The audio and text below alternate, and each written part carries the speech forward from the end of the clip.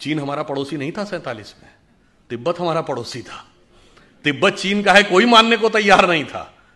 मगर Bandung conference में जाके आपने मनवा दिया और उसके बाद तिब्बत ही नहीं, वो तो एक्साई चीन तक आ गया। तो जो गलती है, वह भी मानना होगा। आपको पता है नॉर्थ वेस्ट फ्रंटियर प्रोविंस जो आजकल खैबर पख्तूनवा है, फाटा का इलाका, वहाँ मुस्लिम लीग नहीं जीती थी। वहाँ कांग्रेस जीती थी। खान अब्दुल गफ्फार खान मिलना ही नहीं चाहते थे पाकिस्तान से। और उस समय यह स्टैंड लिया गया कि कोई लैंड रूट नहीं तो हम कैसे जुड़ जाएँ? ईस्ट और वेस्ट पाकिस्तान 2000 किलोमीटर दूर होकर एक देश हो सकते थे। हम वो नॉर्थ वेस्ट फ्रंटियर प्रोविंस हमारा हिस्सा नहीं हो सकता था। और जब हमने मना कर दिया तो खान अब्दुल गफ्फार खान का यह स्टेटमेंट है कि आपने हमको भेड़ियों के हाथों में छोड़ दिया है। पता है आपको, बलूचिस्तान, ये पाकिस्तान का हिस्सा नहीं था। खान अफ कलात कभी नहीं मिलना चाहते थे। आप में से बहुत से लोगों को नहीं पता होगा कि ओमान 47 में बॉम्बे प्रेसिडेंसी से कंट्रोल होता था। ओमान, हमने कितना छोड़ा है, कितना गंवाया है। सब कुछ गंवाते चले गए।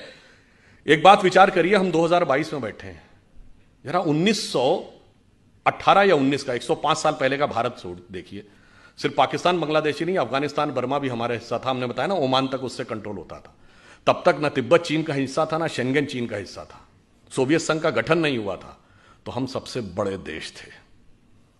An entire China was Buddhist considering Hindu and Buddhism as a one family religion we were the biggest religion on earth and we were the biggest country on earth और आज जो हालात हुए, अगर मज़बूत सरकार नहीं रही तो दो तक जो हालात हैं, कश्मीर वैली में क्या होगा? क्वेश्चन मार्क नॉर्थ ईस्ट में क्या होगा? Question mark. केरल और पश्चिमी उत्तर प्रदेश के कुछ इलाके और बंगाल के बांग्लादेश से जुड़े इलाकों में क्या होगा? Question mark. नक्सल प्रभावी इलाकों में, छत्तीसगढ़ में, झारखंड में, उड़ीसा के इंटीरियर इलाकों में क्या होगा? Question mark. यानी खतरा यह है कि मज़बूत सरकार ना हो तो आज़ादी के सौ साल बाद हो सकता हम अपने उस ओरिजिनल इलाके के आधे रह जाएँ। इन सब चुनौतियों को समझना है और उसके अनुसार हमें यह संघर्ष करना है कि स्वतंत्रता को हमें सार्थक करना है। उसके लिए हमें इन सारे जितने भी प्रकार की चीज़ें हैं, उससे चौकन्ना रहना है।